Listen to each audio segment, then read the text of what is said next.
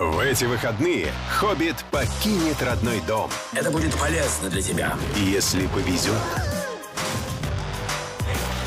Мы разорвем его. он доберется до пустоши Смауга и увидит дракона. Как ты желаешь умереть? А если повезет еще больше, он, возможно, вернется домой. Я хочу, чтобы мы простились с друзьями. Нет, нам еще рано прощаться. Следите за невероятным путешествием «Хоббита» в эфире ТВ-3. Воистину. «Хоббит». Все части. В субботу и воскресенье на ТВ-3.